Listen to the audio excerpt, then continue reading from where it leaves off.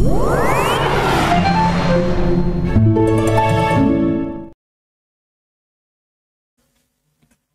चलिए हम स्टार्ट करते हैं इनकम फ्रॉम हाउस प्रॉपर्टी हर किसी को वॉइस क्लियर है विजुअल ओके okay है, फटाफट से बता दीजिए। हम फिर स्टार्ट करें। इनकम फ्रॉम हाउस प्रॉपर्टी काफ़ी बच्चे न्यू ज्वाइनिंग है। तो सर, जितने बच्चे न्यू ज्वाइनिंग है मैं उनसे एक ही बात कहूँगा। ये चैप्टर आप स्टार्ट कर सकते हो, आपको कोई दिक्कत नहीं होगा, लेकिन वो पहले बेसिक कॉन्सेप्ट को क्लियर कर ले। बाकी इस चैप्टर में जो बच्चा नया है, बिल्कुल समझ में आएगा, ऐसा कुछ नहीं है कि बिल्कुल डिफरेंट रहने वाला है। बिल्कुल डिफरेंट रहने वाला है। अभी कुछ बच्चों का हैंड रेस का आ रहा है तो हैंड रेस देखो, अभी तो मैंने स्टार्ट नहीं किया है, जैसे ही रहेगा, मैं फिर हैंड रेस का सभी बच्चों का सवाल का जवाब भी लूँगा।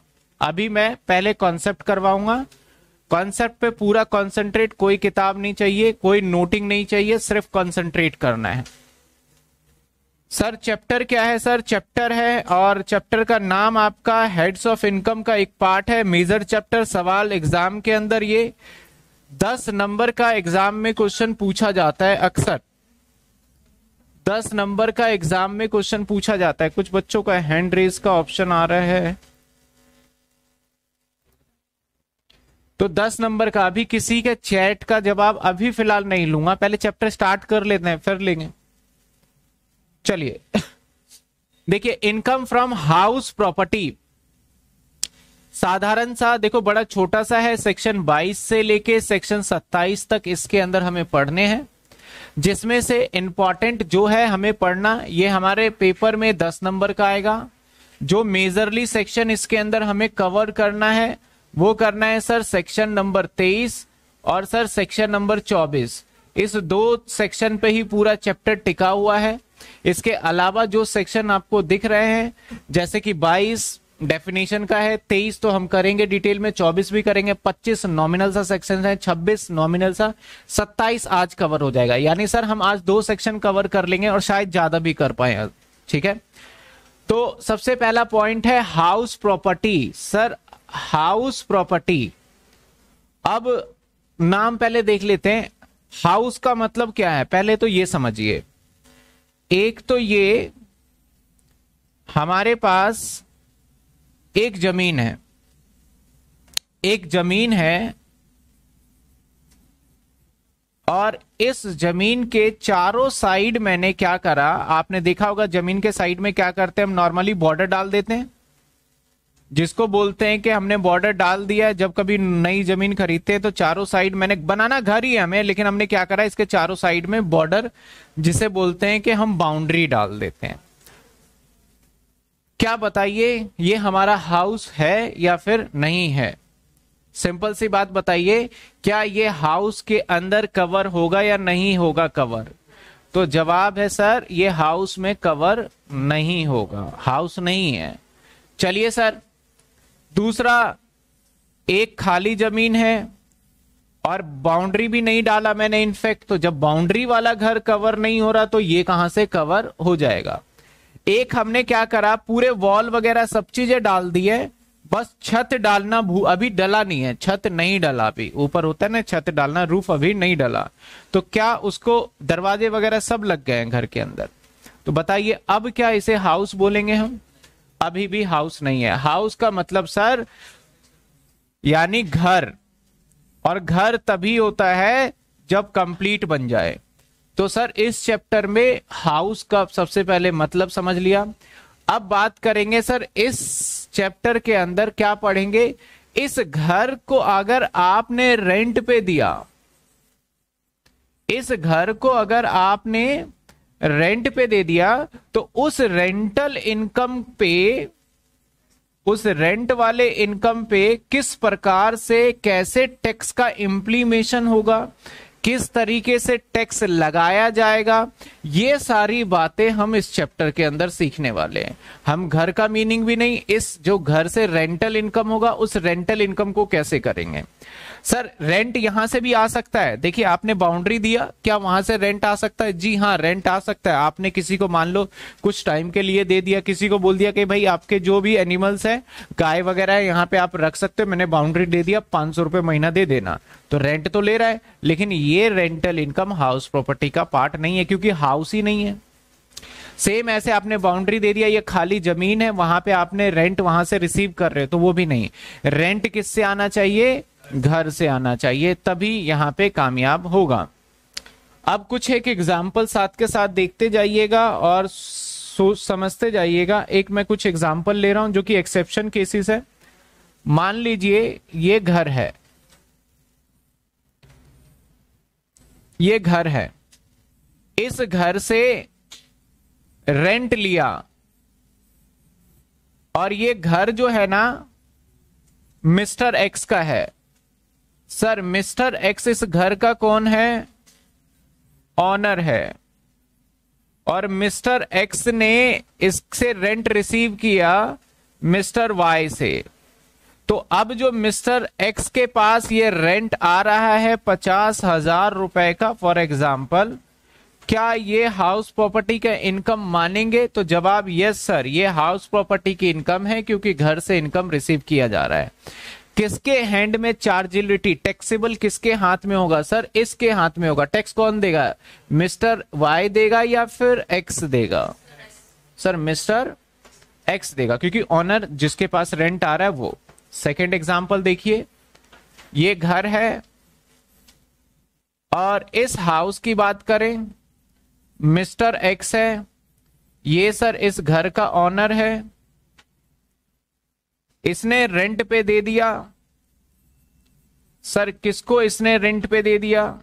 रेंट पे दे दिया मिस्टर वाई को और सर, कितने पे दिया? पाँच हज़ार रुपए महीने के किराए पे। अब वाई ने क्या करा? इस घर को किराए पे दे दिया। मिस्टर जेड को, मिस्टर जेड को दे दिया। अब देखो रेंटल की बात कर रहे हैं। रेंटल इनकम घर से आना। देखो, जो जेड पे कर रहा है, इसको रेंट पेड कर रहा है, मान लेते हैं छह हज़ार रुपए। और जो वाई है, वो रेंट पेड कर रहा है एक्स को पाँच हज़ार रुपए। अब पहले बताना, क्या वाई रेंट रिसीव कर रहा है या नहीं कर रहा है? कर रहा है। क्या इसके इनकम पे हाउस प्रॉपर्टी का टैक्स लगना चाहिए या नहीं लगना चाहिए? अब इसने रेंट रिसीव किया है। अब बताइए, इसके इनकम पे टैक्स लगेगा या फिर नहीं लगेगा? नहीं लगेगा। सर, क्यों नहीं लगेगा? अभी देखते हैं। और क्या बताइए ऑनर के हैंड पे टैक्सेबल होगा? तो जवाब होगा। तो लॉ कहता है, सर रेंटल इनकम नहीं आना, आपको उस मकान का मालिक भी होना ज़रूरी है। अगर आप उस मकान के मालिक नहीं हो तो उसके ऊपर हाउस प्रॉपर्टी के अंडर हेड में टैक्सेबल ना लेके हम कहीं और आपके टैक्सेबल करेंगे। सर कुछ बच्चे पूछ रहे होंगे कि ऐसा पॉसिबल है? बहुत पॉसिबल है ऐसा। इसको बोलते हैं सब लेटिंग इस कॉन्सेप्ट को बोला जाता है सब लेटिंग एक बार लेट आउट कर दिया, उसके बाद फिर फर्दर कर दिया उसे बोला जाता है, सब लेट आउट मैं खुद ही बताऊँ, मैंने रेंट पे ले रखा है एच ब्लॉक एच ब्लॉक वाला रेंट पे मैंने ले रखा है, मैं मकान मालिक को रेंट पे पेमेंट करता हूँ तो वहाँ पे जो ऑनर है, वो हाउस प्रॉपर्टी में टैक्सेबल और फर्दर मैंने किसी और को दे दिया है वो रेंट पे तो वो मुझे रेंट देता है तो उस केस में मैं हाउस प्रॉपर्टी टैक्सेबल नहीं दूँगा, वो अदर सोर्स के अंदर टैक्सेबल हो जाएगा। तो यानी सर, चलो दो बातें समझ में आती है इस चैप्टर में, कि नंबर वन नंबर वन, आपका घर होना चाहिए। नंबर दो, यहाँ पे रेंट होना चाहिए। नंबर तीन, यहाँ पे ऑनर होना चाहिए। अगर ये तीनों बातें इस लॉ के अंदर अगर एग्जिस्ट करता है, तब तो भाई ये आपका हाउस प्रॉपर्टी इनकम माना जाएगा। अगर तीनों में से कुछ भी मिसिंग है तो हाउस प्रॉपर्टी इनकम नहीं माना जाएगा। सिंपल सी बात है। चलिए सर हम एक बार इसके डेफिनेशन को देख लेते हैं। फिर डेफिनेशन के बाद फिर हम आगे देखेंगे या फिर पहले मैं ऑनर के ऊपर थोड़ा सा डिस्कस करना चाहूँगा। ऑनर सर ऑनर क्या है?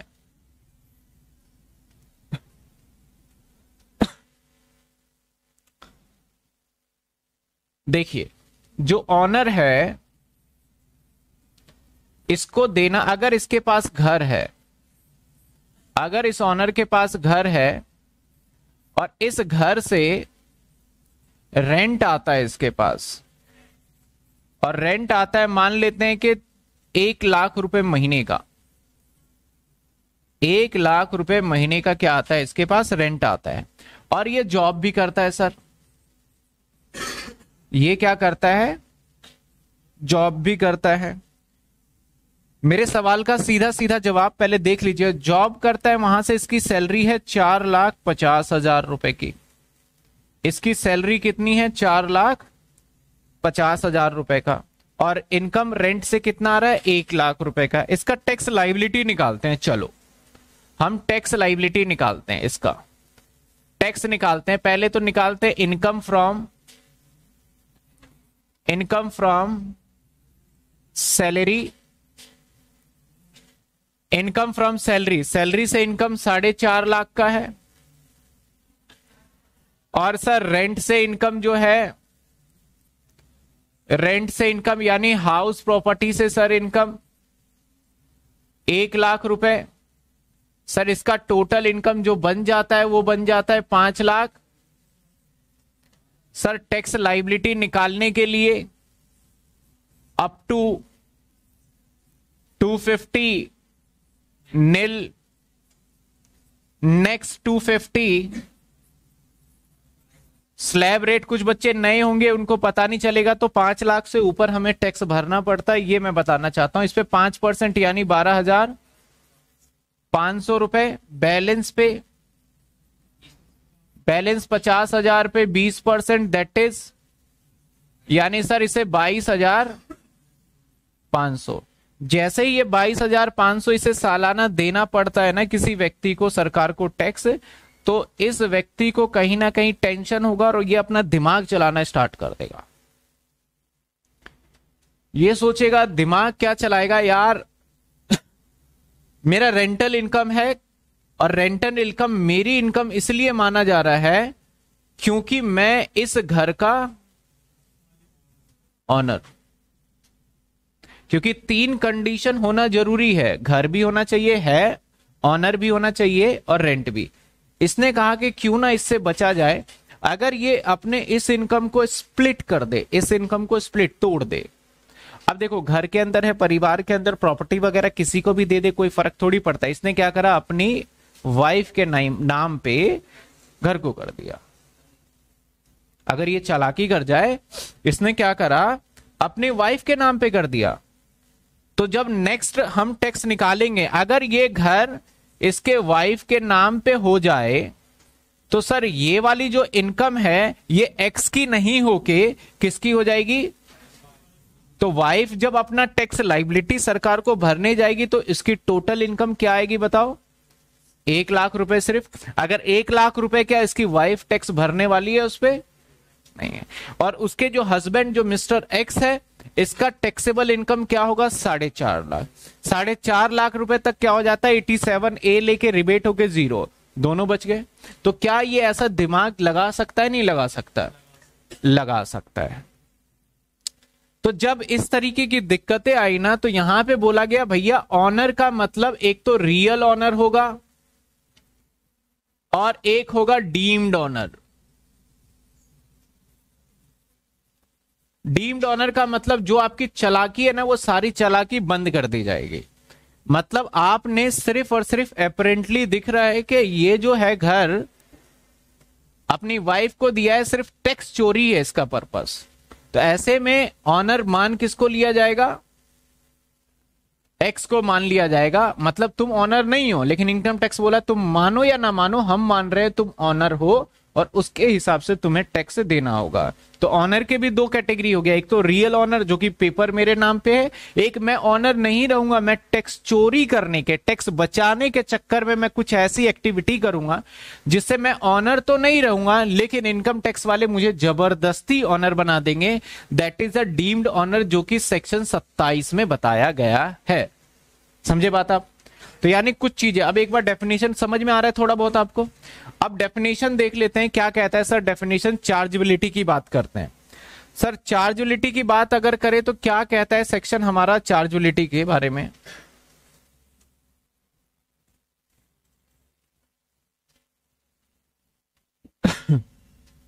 देखो, आपको हर चैप्टर के अंदर चार्जबिलिटी का एक सेक्शन ज़रूर होता है, जैसे इसमें सेक्शन 22 है। एग्ज़ाम के अंदर पूछा नहीं जाता ये सेक्शन, लेकिन पता होना ज़रूरी है। इसी सेक्शन पे पूरा चैप्टर डिपेंड करेगा। कहता है कि the annual value of the property. Sir, सबसे पहले एनुअल वैल्यू को मैं शॉर्ट फॉर्म में लिख देता हूँ, एन ए बी। कहता है, एनुअल वैल्यू, सर, किसके ऊपर आप लोगे? तो बोला गया, एनुअल वैल्यू पे लेंगे। तो सर, एनुअल वैल्यू कैसे पता चलेगा? इसके लिए सेक्शन तेईस पढ़ना पड़ेगा। एनुअल वैल्यू कैसे पता चलेगा आपको? सेक्शन तेईस में annual value of property consisting of any building कोई भी बिल्डिंग और कोई भी लैंड कंसिस्टिंग मतलब जुड़ा हुआ अपर टेंट देयर टू कहने का मतलब है कोई भी बिल्डिंग या बिल्डिंग से जुड़ा हुआ land appurtenant thereto इस शब्द का मतलब क्या है अपर टेंट देयर टू कई बार ऐसा होता है सर ये आपका घर है। इसके साथ में आपका पूरा गार्डन है। और मान लो ये जो आपका घर है, इसका रेंट आपने डिसाइड किया है पचास हज़ार महीने का। इसका रेंट डिसाइड किया है आपने पचास हज़ार रुपए महीने का, सर। अब पचास हज़ार रुपए महीने का अगर आपने डिसाइड किया है तो पचास हज़ार रुपए इंक्लूडिंग दैट लैंड जो कि आपका गार्डन का एरिया है। है ना? तो अब आपका मैं अगर सिंपली बोलूँ कि भैया, इसका किराया बीस हज़ार बनता है या चालीस हज़ार बनता है, इसका किराया दस हज़ार बनता है। अगर मैं सिंपल एक जस्टिफाई करूँ कि अगर ग्राउंड नहीं होता तो दस हज़ार। क्योंकि मैं रेंट पे लेने गया, मैंने बोला, भैया, किराया कितना है? पचास हज़ार। मैंने महँगा है। बोला भाई साहब, पचास हज़ार आपको पार्क वार्क मिल रहा है, देखो। पार्किंग है, पार्क है, इन सब फैसिलिटी के तो पैसे हैं तो उसने पचास हज़ार चार्ज किए। तो अब सवाल आता है कि बोला गया, घर से आएगा किराया? लॉ ने क्लियर कर दिया, भैया, घर का मतलब वो हिस्सा भी है जो आपके घर से अटैच्ड है। यानी अपर टेंट इसको बोला जाता है। तो उस हिस्से को भी मान लिया जाएगा और उसका भी आपका हाउस प्रॉपर्टी में ही टैक्सेबल किया जाएगा। तो सर, सवाल यही कर रहा है यहाँ पे। कहता है कि कंसिस्टिंग बिल्डिंग और appurtenant thereto of which S S C S S C का मतलब कौन, क्या होता है सर? एस एस सी का मतलब होता है जो हमारा टैक्स पेयर होता है, जिसको टैक्स देना है। आम नागरिक उसे एस एस सी बोलते हैं। अगर एस एस सी ऑनर हुआ, तभी वो देगा हाउस प्रॉपर्टी के अंडर टैक्स चार्जेबिलिटी का मतलब किस पे टैक्स लगेगा? एक तो एन एनुअल वैल्यू पे लगेगा नेट एनुअल वैल्यू पे लगेगा। किस पे लगेगा sir the annual value of property यानी नेट एनुअल वैल्यू पे टैक्स लगेगा, और साथ के साथ घर होना चाहिए, घर से जुड़ा हुआ कोई ज़मीन है, उसके ऊपर भी हम टैक्स लगा देंगे, और आपको ऑनर होना ज़रूरी है। Shall subject to income tax under the head of income from house property यानी सर ये कंडीशन कंप्लीट होना ज़रूरी है। ऑनर के बारे में ज़्यादा जानने के लिए सेक्शन 27 पढ़ना पड़ेगा हमें। ठीक है ना? ऑनर के बारे में ज़्यादा जानने के लिए सेक्शन 27 पढ़ना पड़ेगा। After the claiming deduction section 24 कहता है टैक्स आप तभी देना, हम कुछ आपको बेनिफिट्स देंगे। जैसे हाउस प्रॉपर्टी का इनकम आपका एक लाख है गवर्नमेंट कहता है 24 ए में आपको 30 परसेंट का हम डिडक्शन दे रहे हैं दैट इज़ थर्टी थाउज़ेंड तो आपका बचा सर सत्तर हज़ार तो सत्तर हज़ार पे टैक्स दीजिए। तो आफ्टर डिडक्शन 24 24 के अंदर दो सेक्शन है 24 ए और 24 बी आगे कहता है प्रोवाइडिंग सच प्रॉपर्टी और any portion of such property not use by SSC for the purpose of any business अगर आप बिज़नेस के लिए यूज़ कर रहे हो इस प्रॉपर्टी को तो वो इनकम फ्रॉम हाउस प्रॉपर्टी के अंडर टैक्सेबल नहीं होगा। यानी आपने रेंटल देखो, आप नहीं कर सकते बिज़नेस पर्पस के लिए। आपने किसी और को किराए पे दे दिया, वो बिज़नेस पर्पस के लिए कर ले तो होगा हाउस प्रॉपर्टी रेंटल ठीक है ना? आप नहीं कर सकते बस। For the purpose of any business and profession carried on by him मतलब who S S C the profit which the chargeable under income tax तो सर, ये साधारण सी डेफिनेशन है। इस डेफिनेशन को अगर हमने पूरा अच्छे से पढ़ लिया, देखो, तेईस भी आ गया इस डेफिनेशन के अंदर सेक्शन तेईस पढ़ लिया सेक्शन 24 पढ़ लिया सेक्शन 27 पढ़ लिया, हमारा चैप्टर लगभग ओवर हो जाता है। कहने को 22 से 27 है, लेकिन दो ही सेक्शन मेन है। पहले यहाँ तक आपको क्लियर है। तो what is the tax charge बच्चे पूछ रहे हैं कि, सर, क्या टैक्स चार्ज लगता है? रेट क्या है? देखो रेट वही स्लैब रेट लगता है। बेसिक इसमें कोई स्पेशल रेट नहीं है। चलिए सर अब हम सबसे पहले क्या कवर करें? सबसे पहले हम कवर करते हैं ऑनर ऑनर कौन होता है? अभी मैंने थोड़ा डेफिनेशन दिया ऑनर देख लेते हैं। तो ऑनर कहाँ पे गिवन है? पहले पढ़ेंगे हम deemed owner sir deemed owner क्या है? और ऑनर कौन सा होगा? डीम्ड ऑनर सेक्शन 27 ये बताता है कि कौन हमारा डीम्ड ऑनर का पार्ट माना जाएगा। पॉइंट नंबर वन, पहले मैं केस समझाऊँगा, फिर पढ़ लूँगा ताकि आपको इजीली समझ में आ जाए। पहले मैं पढ़ूँगा नहीं, पहले मैं समझा दूँगा, फिर। देखिए एग्ज़ाम्पल देखते जाइएगा, ये इंपॉर्टेंट रहेगा, इसी से आपको ये थ्योरी याद रहेगा। मान लीजिए मिस्टर एक्स है और मिसेस एक्स है। मिस्टर एक्स और मिसेस एक्स दोनों हस्बैंड वाइफ दोनों हस्बैंड वाइफ हस्बैंड के नाम पे एक घर है। हस्बैंड के नाम पे घर है। हस्बैंड ने क्या करा? ये घर नाम कर दिया अपने वाइफ के। अपने वाइफ के नाम पे कर दिया। क्यों कर दिया? ताकि टैक्स इसके वाइफ के नाम पे शिफ्ट हो जाए और जिससे टैक्स बचाया जा सके। और यहाँ पे विदाउट कंसिडरेशन है। Without consideration sir without consideration का मतलब क्या है? विदाउट कंसिडरेशन का मतलब सर जहाँ पे उससे कोई पैसे नहीं लिए गए। विदाउट कंसिडरेशन कोई पैसा नहीं लिया गया। तो ऐसे सिचुएशन में हालाँकि ऑनर की बात करें तो ऑनर ये है इस घर की है ना? ऑनर कौन है? ये, लेकिन यहाँ पे गवर्नमेंट टैक्स किससे वसूलेगा? इसे मान लिया जाएगा डीम्ड ऑनर पहला पॉइंट समझ में आया?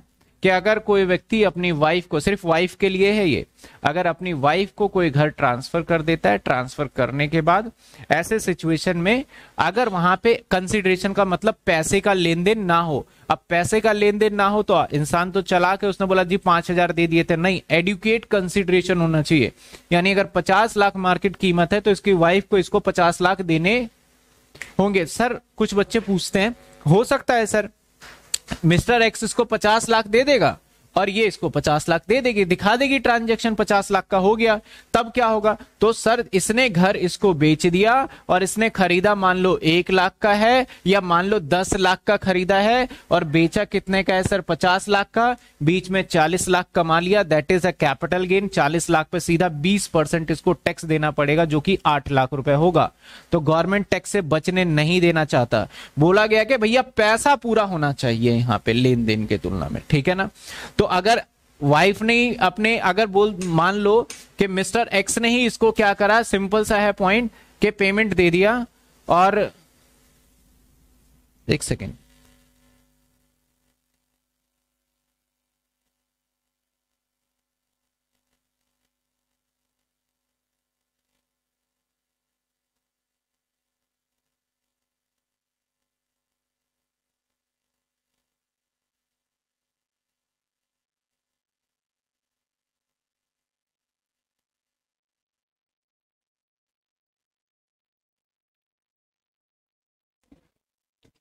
जी, ठीक है थोड़ा सा अब ध्यान दीजिए, मैं क्या बता रहा था आपको कि एक्स ने अपनी वाइफ के नाम पे क्या करा? घर को ट्रांसफ़र कर दिया और उसमें कंसिडरेशन नहीं लिया तो घर किसका माना जाएगा? उसके हस्बैंड का ही माना जाएगा। अगर कंसिडरेशन ले लिया तो घर माना जाएगा किसका? इसकी वाइफ का ही माना जाएगा। लेकिन उस केस के अंदर कैपिटल गेन अराइज हो जाएगा, जो कि हमारा इस चैप्टर से रिलेटेड नहीं है। मैंने बता दिया, ऐसा होगा।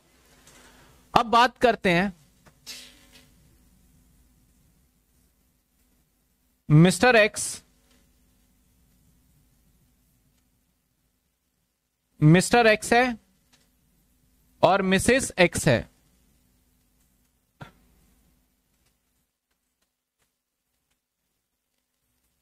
और ये दोनों जो है हस्बैंड वाइफ है ओब्वियस सी बात है। और मैंने मिसेस एक्स बोल तो दिया, ये दोनों हस्बैंड वाइफ है। लेकिन इन दोनों के बीच में नहीं बन रही, बहुत दिनों से लड़ाई झगड़ा चल रहा है तो इसका एक ही रिज़ल्ट होगा।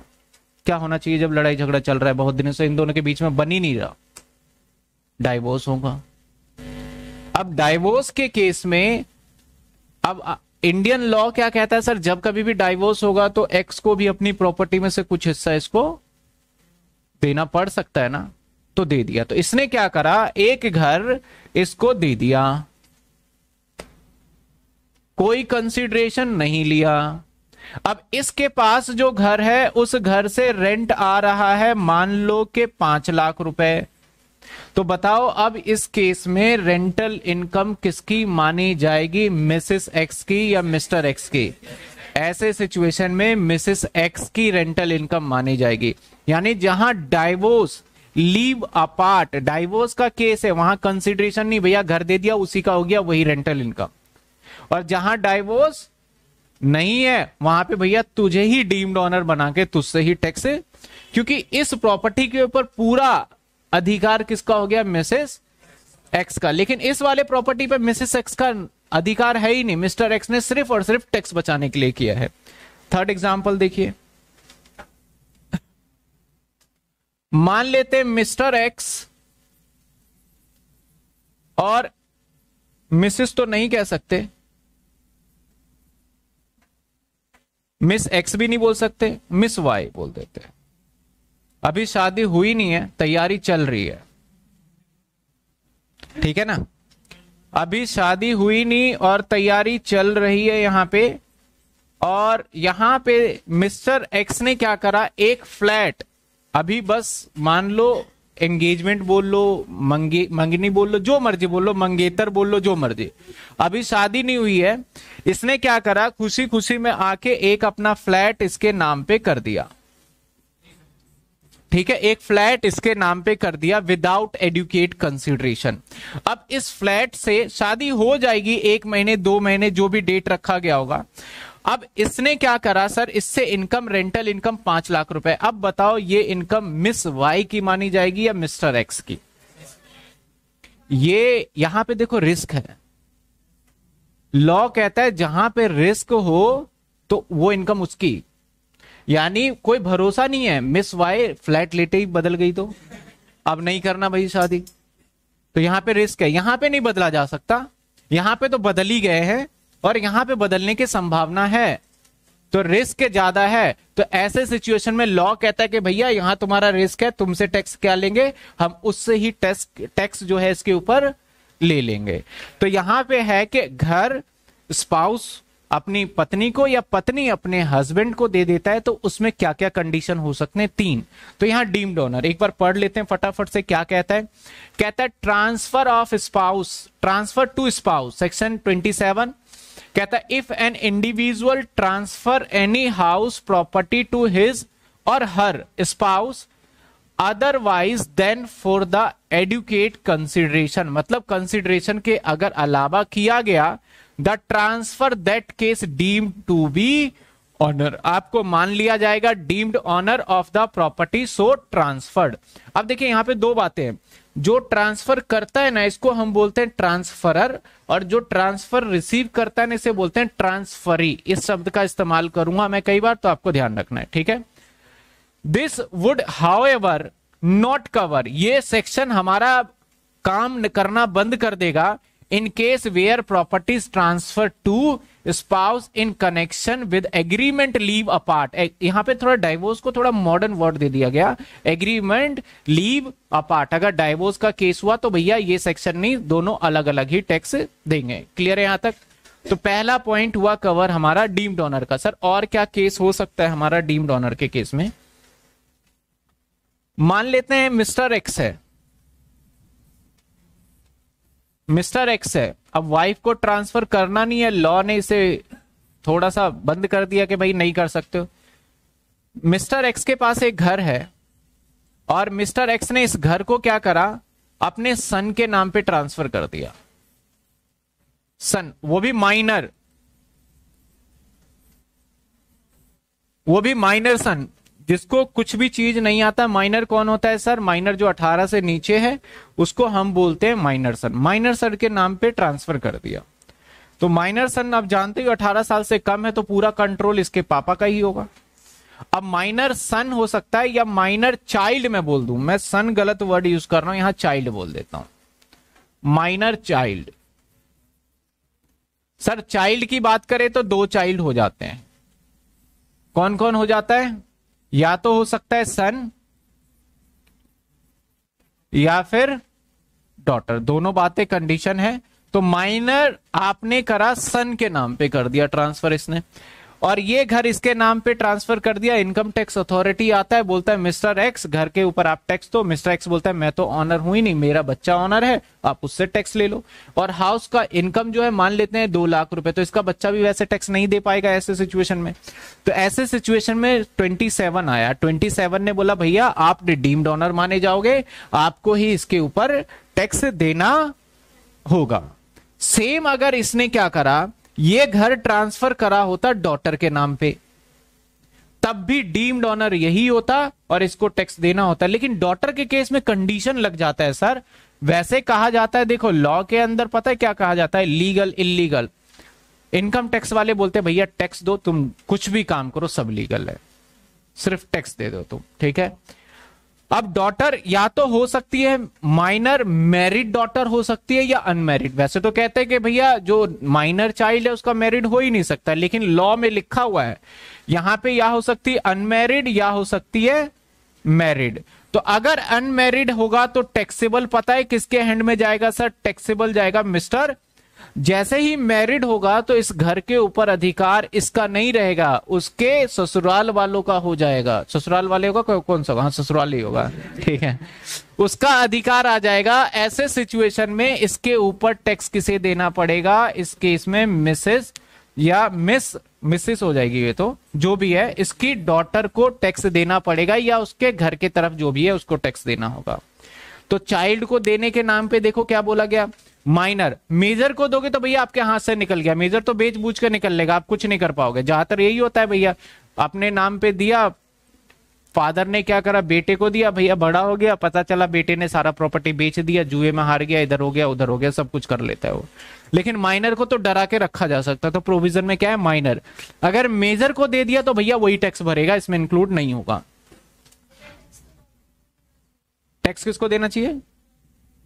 डॉटर को। कौन से केस में? मैरिड में तो मैंने बोला डॉटर ही देगी। हाँ तो अब मैं इसका पैन कार्ड नहीं बना, इसका पति का तो बना होगा पैन कार्ड। वो भरेगा इसके बिहाफ पे। ठीक है ना? हाँ तो उसका डॉक्यूमेंट नहीं बना होगा ना, देना इसी को चाहिए ट्रू लेकिन कई बार क्या होता है जब कभी कोई माइनर चाइल्ड की इनकम होता है तो उसमें वो टैक्स नहीं दे सकता तो उसके बिहाफ पे उसके गार्जियन को देना पड़ता है। रूल ये कहता है। आप देखते हो इतने सारे ऐड है। अब बच्चा इतना छो, छोटा आपने डायपर वाइपर का ऐड देखा होगा उसको पचासों लाखों रुपए कमा लेता है वो डायपर के ऐड में आके। अब वो टैक्स भरने जाएगा। उसे तो पता भी नहीं है। तो उस सिचुएशन में उसके गार्जियन जो है वो टैक्स देंगे। ठीक है ना? चलिए सर। पढ़ लेते हैं क्या कहता है इस प्रोविज़न के रिगार्डिंग मैंने लिख भी दिया और ये आपकी किताब में लिखा हुआ भी अगेन इसके ऊपर अलग से सेपरेटली क्वेश्चन आ जाता है कि सेक्शन 22 डिफाइन करें। कहता है आपका transfer to minor child minor child बोला गया है।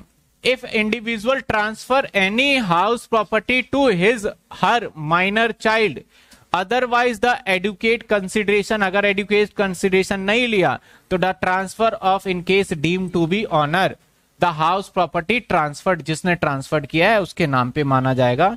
This would however not cover if the property transfer the minor married daughter अगर सन हुआ माइनर और वो उसका शादी हो चुका है तो वो तो कवर्ड होगा भैया, क्योंकि उसका गार्जियन उसका फादर ही बनने वाला है दोबारा। समझ रहे हो ना? तो माइनर मैरिड डॉटर को स्पेशली कवर्ड किया गया कि इसको हम नहीं मानेंगे। यहाँ तक बात समझ में आई आपको? पहला केस क्या था, सर? घर अगर आपने दे दिया किसको? अपनी वाइफ को तो किसके हाथ में टैक्सेबल होगा? दूसरा केस था, अगर आपने घर दे दिया अपने बच्चे को तो किसमें टैक्सेबल होगा? अगले केस पे देखते हैं।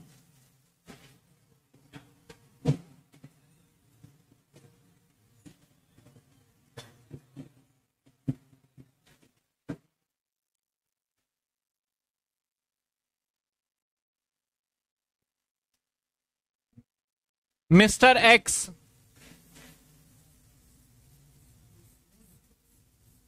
ध्यान से देखिएगा। मिस्टर एक्स है।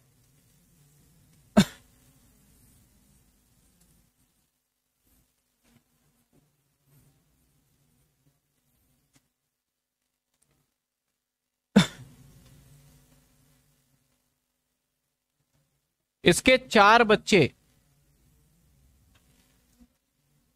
ए बी सी और डी चार बच्चे हैं। और मिस्टर एक्स के पास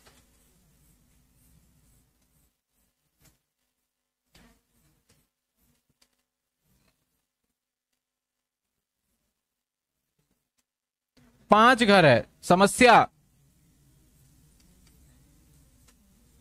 समस्या है यहाँ पे। इसके पास पाँच घर है। मिस्टर एक्स की जो एज है 96 ईयर। यानी सुपर सीनियर सिटीजन। तो सर, इसकी एज है 96 ईयर, सुपर सीनियर सिटीजन, और मिस्टर एक्स को ऐसा लग रहा है कि यार, मेरे घर है, अगर मैं चला गया, पाँच घर है तो ये चारों आपस में लड़ लड़ के, कहीं चार की जगह तीन ना हो जाए। तो इससे बेहतर है कि हम अभी से ही क्या करें, विल बना दें। विल मतलब वसीहत अभी से ही तैयार कर दे। तो जब वसीहत तैयार करने गया था तो इन सबके मन में चल रहा होगा मुझे दो मिलेंगे तो मुझे दो मिलेंगे तो मुझे दो मिलेंगे। होता है ऐसा? अब इसके मन में जो चल रहा था वो। इसने कहा कि भैया ए, ए अपने बड़े बेटे को बुलाया ए बोला तुझे मिल गया नंबर वन हाउस बी तुझे मिल गया नंबर टू हाउस सी तुझे मिल गया नंबर थ्री हाउस। डी सोच रहा अब तो दोनों मेरे। इसको बोला, तुझे मिला नंबर चार. चारों ने मिलकर पूछा कि, पिताजी, पांचवा घर क्या है? बोला कि, भैया, इतने सारे मैंने काम किए, सुख शांति के लिए इसे टेंपल बना दो। यानी इसे मंदिर में कन्वर्ट कर दिया जाए, ये मैं चैरिटी में दे देता हूँ। अब ये हो गया मंदिर। सर, पहले घर से जो रेंटल इनकम अब आएगा, वो ए भरेगा। दूसरे घर से जो रेंटल इनकम आएगा, वो, और तीसरे घर से, और चौथे घर से डी ये अलग अलग हो गया। भैया, दिक्कत ये आ गया कि ये पांचवा घर तो किसी के नाम पे भी नहीं है। अब ये इसके नाम पे भी नहीं रहा और इनमें से किसी के नाम पे भी नहीं है। तो ये घर बंटवारा भी नहीं हो सकता। तो ऐसा पार्ट जिसे बंटवारा नहीं किया जा सकता, उसको बोलते हैं इम्पेरिटिबल स्टेट या इम्पेरिटिबल एसेट्स जिसका बंटवारा नहीं हो सकता। तो सर, इस घर का केयर टेकर होगा कोई ना कोई। बोलेगा, भैया, जो ज़्यादा इसमें से मंदिर बना दिया है, जिसका ज़्यादा पूजा पाठ के अंदर श्रद्धा होगा, उसको इसका केयर टेकर बना दिया जाएगा। नॉर्मली इसने क्या करा, अपने बड़े बेटे को बोला, भैया, इस मंदिर का सारा देख रेख किसे करना है? तुझे करना है। अब इस मंदिर से ना, ये जो घर है, एक तरीके से घर है, छत भी है, सारी चीज़ें कंडीशन फुलफिल कर रहा है, यहाँ से रेंट आ सकता है। सर, मंदिर में कौन रेंट देगा? कई बार आपने देखा है, मंदिर यूज़ करते हैं, चाहे कुछ छोटे से फ़ंक्शन के लिए हो, कोई पार्टी के लिए तो वहाँ से रेंटल इनकम आ जाता है। आपने देखा होगा, मंदिर के साथ में कई बार बैंकेट हॉल बना दिया जाता है, जिसके अंदर मैरिज वगैरह होता है। नॉर्मल है? तो अब इस रेंटल इनकम पे कौन टैक्स देगा? अब बोलेगा बी मैं क्यों दू? मैं तो मालिक नहीं हूँ। ए बोलेगा, मैं भी क्यों दू? मैं भी मालिक नहीं हूँ। और लॉ के हिसाब से ये सभी मालिक नहीं है। तो इनकम टैक्स डिपार्टमेंट देखेगा, भैया, इसका देखरेख कौन कर रहा है? पाया गया कि इनकम टैक्स में देखरेख कौन कर रहा है? ए केयर टेकर कौन है? ए तो इसके इनकम पे टैक्स किसको देना पड़ेगा? ए को देना पड़ेगा इसको। हाँ जी। नहीं गवर्नमेंट का थोड़ी टेंपल है वो। वो अपने पास रखेगा टेंपल से सारा, ये देख रेख मंदिर के अंदर खर्चा होगा, सारा चीज़ उसे करना है। गवर्नमेंट के पास कुछ भी नहीं जाता। टेंपल जो भी होता है, वो पर क्या? जो जितने भी मंदिर के अंदर जितने भी दान वगैरह होते हैं, उस सभी का इनकम पे कैलकुलेट होके टैक्स जाता है उसके ऊपर, सबके ऊपर। तो यहाँ पे जो भी है, उसके ऊपर टैक्स देना होगा। अभी देखा होगा, हाल फ़िलहाल में बहुत ज़्यादा कंट्रीब्यूशन चल रहा है कि भैया यहाँ से इतनी सारी फंडिंग आ रही है, इसके ऊपर टैक्स दो, इसका हिसाब दो, यहाँ से कहाँ कहाँ से पैसे आ रहे हैं यहाँ पे तो वो चीज़ है कि टैक्स देना होगा। तो कहानी मोरल क्या है कि आपको कहानी तीसरा केस समझ में आया कि अगर ऐसा कोई सिचुएशन हुआ तो किसको देना पड़ेगा? ऑनर नहीं है, लेकिन उसको डीम्ड ऑनर मान के उसको टैक्स देना पड़ेगा। चलिए फटाफट से इसको देख लेते हैं और कवर कर लेते हैं। क्या कहता है? होल्डर ऑफ़ इंपेरिटेबल स्टेट कहता है होल्डर ऑफ़ इम्पेरिटिबल स्टेट जो बट नहीं पाया था, जो चौथा, पांचवा मकान था ना, उसकी बात कर रहा है। कहता है the holder of impartible estate shall be deemed to be individual owner of all properties या फिर आपका कंप्राइज करेगा in the estate the impartible estate as would itself suggested is property which not legally divisible मतलब यहाँ पे सिर्फ़ बताया गया सर इस डेफिनेशन के अंदर बताया गया इम्पेरिटिबल स्टेट सर वही होता है जिसको डिवाइड नहीं किया जा सकता। यहाँ पे डीम्ड ऑनर उसको मान लिया जाएगा। जो सजेस्ट होगा, जो इनकम टैक्स को लगेगा अप्रोप्रिएट है, उसको मान लिया जाएगा। मैंने सिंपल सा एग्जांपल में बता दिया, जो उसका केयर टेकर होगा, वही क्या माना जाएगा उसका ऑनर हम जो भी पढ़ रहे हैं ना, सत्ताईस सेक्शन सत्ताईस सेक्शन में बात बनाया गया है कि आप मालिक नहीं हो, लेकिन ठहरो, हम आपको मालिक मान के आपसे टैक्स वसूल लेंगे। पहले पॉइंट क्या था? घर दे दिया वाइफ के नाम पे। टैक्सेबल किसके हो गया? हस्बैंड दूसरा घर दे दिया बच्चे के नाम पे। टैक्सेबल किसमें हो गया? फादर तीसरा घर दे दिया मंदिर के नाम पे। टैक्सेबल किसका हो गया? केयर टेकर के ऊपर। समझ में आ रही है बात आपको? चलिए सर, अगले सेक्शन पे चलते हैं हम।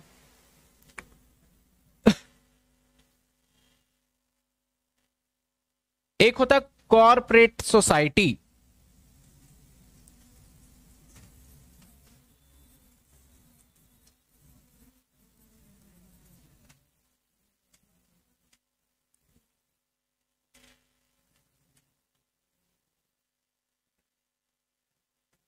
sir corporate society या फिर कुछ और भी होते हैं जो कि एक तरीके से मैं एक छोटा सा एग्जांपल लेता हूँ, समझना। अपार्टमेंट वगैरह जो बनते हैं ना, या सोसाइटी होता है, ये बनता कैसे है, इसका देखो, थोड़ा सा जो इसका, मान लो, इस तरीके से करते करते जो नंबर ऑफ़ पर्सन है ना, इतने सारे हो जाते हैं कि इनके पास थोड़े से पैसे होते हैं। मान लेते हैं कि पचास व्यक्ति हो गए। ऐसे करते करते पचास व्यक्ति हो गए। और हर किसी व्यक्ति के पास एक एक करोड़ रुपए है। और उनके पास एक एक करोड़ के हिसाब से पचास करोड़ रुपए है। और ये सारे आपस में एक ही जगह काम भी करते हैं और बहुत दिनों से जानते हैं। तो जब कभी कोई जान रहा होता है आपस में एक दूसरे को तो वो चाहता है कि हम सब एक ही जगह रहें। ऐसा नहीं कि हम अलग अलग रहें, हम क्या करें? एक ही जगह रहें। तो एक आपका सोसाइटी के तरीके से बनाया जाता है, जिसको हम बोलते हैं सोसाइटी। जैसे एक फ़ेमस सीरियल है, तारक मेहता का उल्टा चश्मा, उसके अंदर सोसाइटी का ही हमेशा डिस्कशन किया जाता है। उनका क्या होता है, एक पूरा हर कोई एक दूसरे को जानता है। तो सर ये सोसाइटी तो ये क्या करता है? ये गवर्नमेंट के पास एप्लीकेशन देता है और गवर्नमेंट को बोलता है, सर, हमें ज़मीन प्रोवाइड किया जाए और फ्री में नहीं मांग रहे, हम ज़मीन का पैसा देंगे। क्योंकि एक साथ इनको अगर पचास बंदे हैं तो कम से कम मान लो इसको पाँच हज़ार गज का ज़मीन चाहिए। तो पाँच हज़ार गज का इतनी जल्दी मिलने वाला तो है नहीं। लेकिन गवर्नमेंट के पास ज़मीन पड़ा होता है, मान लो पाँच हज़ार। बोला, हम आपसे पैसे नहीं मांग रहे, हम पचास लोग हैं और हम पचास लोगों के पास पैसा है, हम अपना ज़मीन दे दीजिए, ज़मीन का पैसा ले लीजिए, वहाँ पे बिल्डिंग बना लेंगे और हर किसी के नाम पे घर हम कर लेंगे। तो गवर्नमेंट एक इसको खाली प्लॉट अलॉट कर दिया जाता है। अब इसको नहीं करेगा, पचास लोगों के लिए है तो ना तो इसके नाम पे अलॉट होगा, ए के नाम पे, ना बी के नाम पे, ना सी के नाम पे। बोला कि भैया, आप एक बात बताओ कि जो ये आप काम कर रहे हो, जो घर बना रहे हो, उसका नाम कुछ सोचा है? इसने बोला हाँ जैसे कि मैं मान लो सिद्धार्था अपार्टमेंट, जीवन ज्योति अपार्टमेंट या फिर जनता अपार्टमेंट या फिर कोई कॉलोनी नाम रख लिया उसने, इनकम टैक्स कॉलोनी जैसे कुछ नाम है। तो इसने बोला, सर, मैं इसका जनता अपार्टमेंट नाम रखना चाहता हूँ। तो गवर्नमेंट ने जो पेपर करा ना, वो किसके नाम पे किया? जनता अपार्टमेंट के नाम पे उस ज़मीन का पेपर बना के दिया होगा। या फिर ए और बी के नाम पे तो होगा नहीं वो पेपर तो जनता, अब इन्होंने क्या करा? इन्होंने पैसे लगाए और यहाँ पे इतने बिल्डिंग बनाए जिसके अंदर के पचास मकान हो सके, पचास कमरे बन सके two B H K three B H K what अब हर किसी के अंदर एक एक फ्लोर हर किसी के हिस्से में आ जाएगा। और ये निकाला जाता है नॉर्मली लॉटरी के थ्रू नहीं तो कोई बोलेगा, भैया, मैं तो नीचे कर लूँगा, मैं तो ऊपर कर लूँगा। तो जिसके हिस्से में जो है सुख शांति से वो अपने घर में चला जाए। अब सर, जब इसको घर मिलता है ना तो घर का इसका प्रॉपर्टी का पेपर नहीं मिलता। घर मिलता है तो इसको एक यहाँ का मेंबरशिप मिल जाता है। मेंबरशिप एक टोकन मिल जाता है काइंड ऑफ़ अब ऐसे सिचुएशन में मान लेते हैं, मिस्टर ए को यह मिल गया टोकन नंबर वन वाला घर। तो क्या मिस्टर ए इस घर का मालिक है क्या? जवाब नहीं। ऑनर तो है नहीं ये। ऑनर तो कौन है इस सारी प्रॉपर्टी का? जनता सोसाइटी है पूरे प्रॉपर्टी का। तो ये तो ऑनर नहीं है। अब यहाँ से जो रेंट आएगा, उस रेंट पे कौन टैक्स देगा? अगर गवर्नमेंट बोलता है कि भैया ए तू दे तो ए तो मुकर जाएगा। बोलेगा, मैं ऑनर ही नहीं हूँ, तुम्हारी तीन कंडीशन है, वही फुलफिल नहीं हो रही इसके अंदर लॉ के हिसाब से। तो गवर्नमेंट सेक्शन 22 के में बोलता है कि भैया, ये भी हम पॉइंट डाल रहे हैं अब कि अगर ऐसा कोई कॉरपोरेट सोसाइटी हुआ और उसके अंदर आप उसके ऑनर नहीं हो, उसके सिर्फ़ क्या हो, एक मेंबर हो तो हम मान लेंगे आप डीम्ड ऑनर हो और उसके ऊपर भी आपको ही टैक्स देना पड़ेगा। तो यहाँ पे क्या कॉन्सेप्ट आ गया हमारा? डीम्ड ऑनर का। सर, देखिए फटाफट से क्या कहता है कॉर्पोरेट सोसाइटी के बारे में। मेंबर ऑफ़ कॉर्पोरेट सोसाइटी आपको रफली याद रखना है हाँ एग्ज़ाम में जब क्वेश्चन लिखें तो जैसे जैसे मैं एग्ज़ाम्पल लिख रहा हूँ, आप लिखोगे तो अपने लैंग्वेज में एग्ज़ाम्पल बना सकते हो mister X have five houses या इस तरीके से। लिख के आ जाओगे तो बेटर है। बाकी किताब के अंदर आपके छोटे छोटे एग्ज़ाम्पल मिल जाएँगे। और टेन ईयर के अंदर भी मैंने कोशिश किया है कि एक एक एग्ज़ाम्पल उसके अंदर डाल दू, मैं नोट्स के अंदर। चलिए सर, कहता है member of corporate society cooperative society section आपका सत्ताईस है। A member of cooperative society company other associate person home building part there for allotted या लीज्ड है अंडर द हाउस बिल्डिंग घर बनाया गया, उसके अंदर उसको लीज कर लिया गया। Scheme of society company association shall be deemed to be member of the building a part allotted although the cooperate society company associated with the owner of the building वो उसका ऑनर नहीं होता, फिर भी उसे ऑनर मान लिया जाता। अब सपोज़ करो, जितने भी डीडीए के फ्लैट मिलते हैं, कोई उसका ऑनर नहीं होता। ऑनर गवर्नमेंट ही रहता है वो लीज पे दिया जाता है। कितने साल के लीज पे दिया जाता है? निन्यानवे साल के लीज पे होता है। तो निन्यानवे साल का मतलब तो समझ लेते हैं कि हमारा ही है। बाद में रिन्यू भी कर देता है। तो वो क्या होता है? सारा का सारा लीज पे होता है। जितने भी डीडीए फ्लैट्स वगैरह होते तो ये था हमारा कॉर्पोरेट सोसाइटी क्या क्या पढ़ लिया सर पहला पॉइंट हमने देखा कि अगर आप अपनी हाउस प्रॉपर्टी की इनकम ट्रांसफ़र कर दो अपनी वाइफ में तो कौन देगा? दूसरा देखा, बच्चे पे कौन देगा? तीसरा देखा, घर, जो कि थोड़ा झगड़े वाला इंपेरेटिवल बन गया। चौथा देखा, आप घर के मालिक नहीं हो, क्या? कॉरपोरेट सोसाइटी तब क्या होगा? एक और केस देखते हैं हम।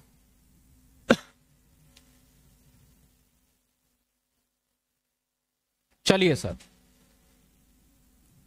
अब घर ना ऑनर का मतलब क्या है?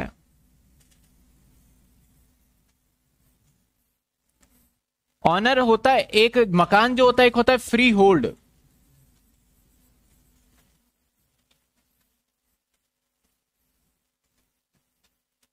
और एक होता है power of attorney power of attorney sir, जब घर खरीदते हैं ना तो दो तरीके का घर होता है। जैसे बोलते हैं ना, कच्ची कॉलोनी और पक्की कॉलोनी। तो कच्ची कॉलोनी में सरकार ने आपके नाम पे ज़मीन नहीं किया है। वो जब मर्ज़ी चाहे, आपकी ज़मीन को छीन सकता है। इसलिए आप अक्सर देखोगे, कच्ची कॉलोनी का रेट क्या होगा? कम होगा। ठीक है? पक्की कॉलोनी कौन सा है? जो कि घर आपके नाम पे हो चुका है। सरकार आपसे वो घर नहीं छीन सकता। अगर सरकार ने वो घर छीना भी तो उसको मार्केट रेट आपको देना पड़ेगा। तो एक होता है, जिसको पक्की कॉलोनी बोलते हैं ना, जिसका बोलते हैं पक्का कब्जा बोलते हैं, उसे बोलता जाता है फ्री होल्ड समझ में क्या बोला जाता है इसमें? इस केस में जब मकान खरीदते हो तो यहाँ पे स्टैंप ड्यूटी देना पड़ता है, सर। पाँच परसेंट रेट है, चार परसेंट रेट है मेल फीमेल का अलग अलग है, मुझे एग्जैक्ट रेट याद नहीं है तो इस हिसाब से देना पड़ता है उसको। तो ये प्रॉपर्टी आपके नाम पे हो जाता है। तो इसकी बात, दूसरा होता है कि जो घर होता है ना, हम बेचते नहीं है। नॉर्मली अगर देखा जाए तो गवर्नमेंट ना डीडीए के जितने भी फ्लैट हैं, आपको रहने के लिए दिया गया, लेकिन आपको पता है वो बेच दिया जाता है। पता है आपको कि डीडीए के फ्लैट्स भी क्या होते हैं? बिक जाते हैं। जो सर, आपको मिला था अलॉटमेंट में, वो भी आप क्या करते हो नॉर्मली तो आप उस ज़मीन को तो आपका है ही नहीं तो ज़मीन तो बेच ही नहीं सकते।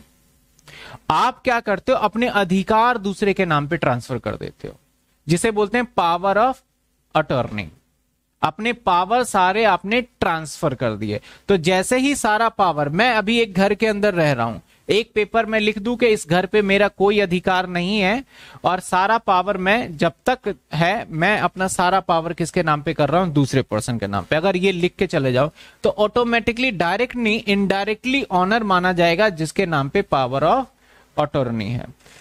ऐसे सिचुएशन में कई बार आप सिचुएशन देखोगे तो ये आपने देखा भी होगा, सुना भी होगा। दिल्ली के अंदर मैक्सिमम घर बेचना, खरीदना अलाउड नहीं होता और बहुत जगहों पे अलाउड नहीं करते।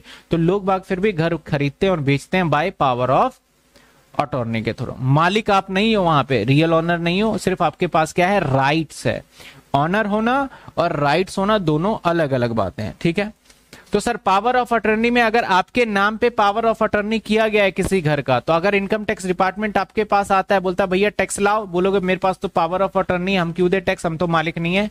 तो सेक्शन 27 गवर्नमेंट आपको समझा देगा कि, भैया डीम्ड ऑनर आपको मान लिया जाएगा और इसके अकॉर्डिंग आपको ही टैक्स देना होगा। किसका रियल ऑनर है, उससे कोई लेना देना नहीं है। तो सर पावर ऑफ़ अटर्नी के छोटी से पॉइंट्स गिवन है।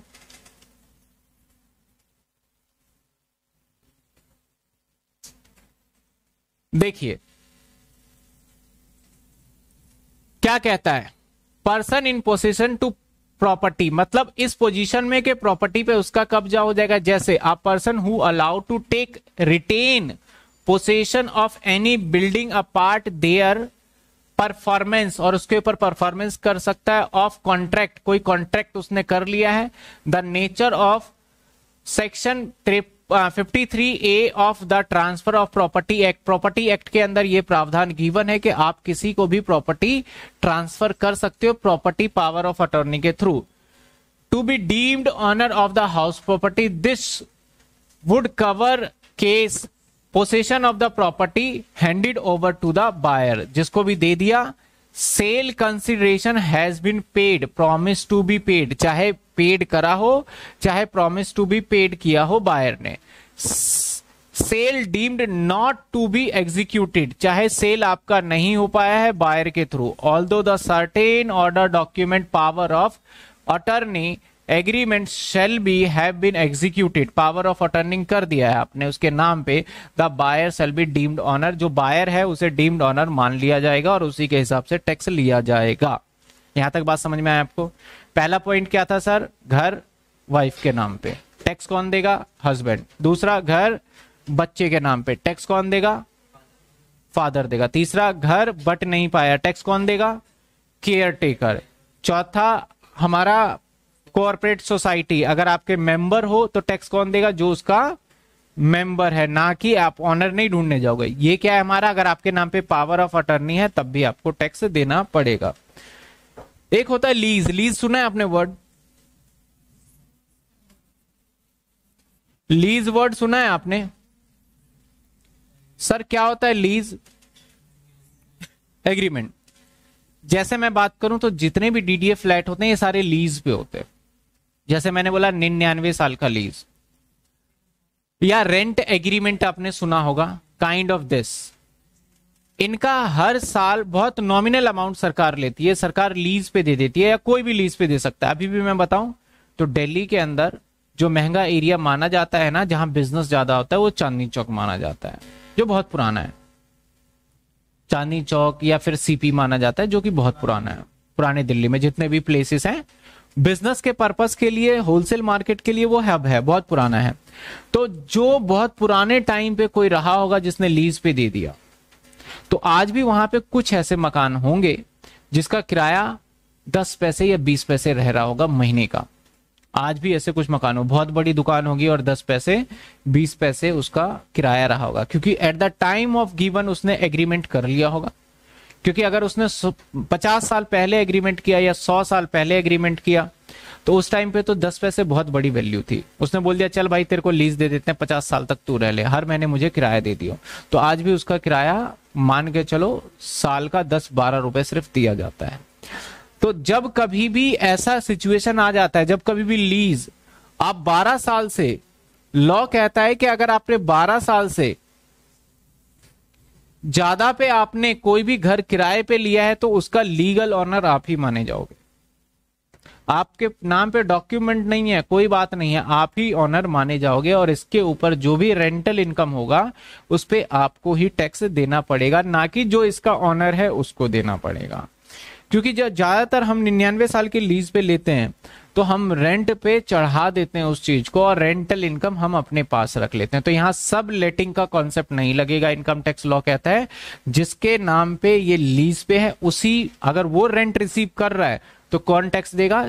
जो कि यहाँ पे दो वर्ड होता है। एक होता है लेसी एक होता है लेसर जो लीज पे दे रहा है, वो होता है लेसर और जो लीज पे ले रहा है, उसे बोलते हैं लेसी तो इस सिचुएशन के अंदर अगर 12 साल से ऊपर पे किसी को भी आप लीज पे प्रॉपर्टी दोगे तो जिसके, जिसने लीज पे प्रॉपर्टी लिया है, यानी लेसी वो ऑनर मान लिया जाएगा रेंटल इनकम के लिए। अगर वो फर्दर रेंट पे देता है तो उसको उसके ऊपर टैक्स देना पड़ेगा। ठीक है? सर देखिए क्या कहता है, छोटा सा सेक्शन है person having the right of property for the period not less than twelve year बारह साल से कम का नहीं है, बारह साल से ज़्यादा या बारह साल का है तो उस सिचुएशन में कौन देगा? आपका, जैसे मान लेते हैं फॉर एग्ज़ाम्पल भी ले लेता हूँ मैं मिस्टर एक्स इसने अपना प्रॉपर्टी मिस्टर वाई को दे दिया। मिस्टर वाई को दे दिया और सर ये दे दिया उसने सत्तर साल के लीज पे। सेवेंटी ईयर के लीज पे दे दिया। किसको दे दिया? सर एक्स ने दे दिया वाई को सेवेंटी ईयर के लीज पे दे दिया। अब वाई इसका मालिक माना जाएगा। वाई ने फर्दर क्या करा? जेड को दे दिया ये। अब जो रेंटल इनकम आएगा वाई के पास, इसके ऊपर टैक्स हाउस प्रॉपर्टी के अंडर कौन भरेगा? वाई को भरना पड़ेगा क्योंकि उसने लीज पे ले लिया। लीज का एक लमसम अमाउंट होता है, वो ले लेते हैं ज़्यादातर। तो हमारे कितने पॉइंट है सर ये? पहला वाइफ के नाम पे, दूसरा बच्चे के नाम पे, तीसरा आपका इंपेरेटिवल स्टेट चौथा कॉर्पोरेट सोसाइटी कोऑपरेटिव सोसाइटी पांचवा क्या था हमारा? पावर ऑफ़ अटर्नी और छठा क्या है हमारा? लीज ये छह पॉइंट आते हैं हमारे सेक्शन 27 में, जो कि कई बार पूछ लिया जाता है कि explain deemed ownership as per section 27 तो आपको ये छह के छह पॉइंट विद एग्ज़ाम्पल के साथ एक्सप्लेन करना पड़ेगा। तो इस चैप्टर के अंदर 22 से 27 सेक्शन है, जिसमें से दो सेक्शन खत्म हो चुके हैं, जो कि थियोरिटिकल सेक्शन थे।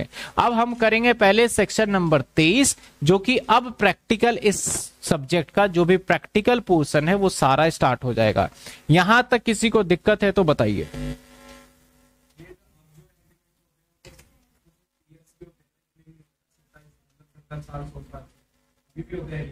करते हैं अभी भी।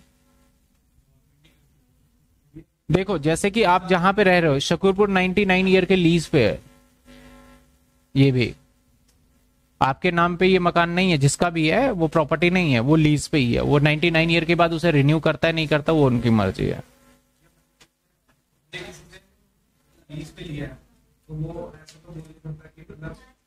खाली करो। हाँ वो अमाउंट उसके हिसाब से होगा, अभी करंट के हिसाब से हम उससे खाली नहीं करवा सकते।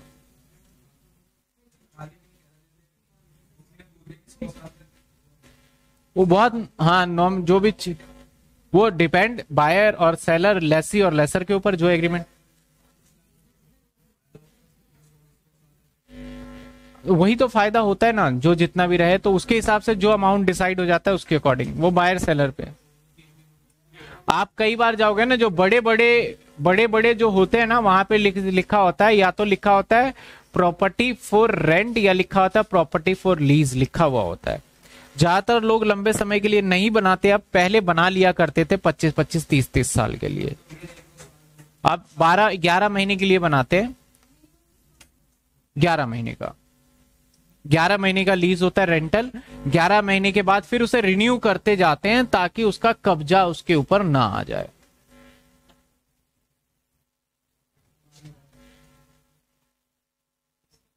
सर, अगर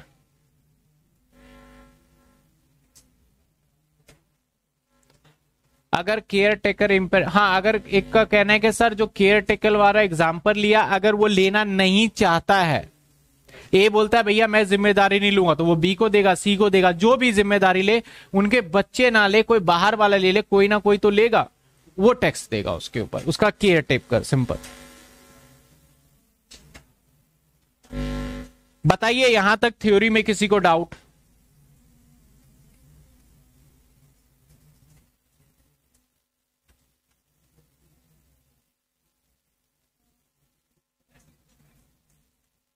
ऑटर्नी क्या होता है? ऑटर्नी होता है राइट्स अधिकार देना।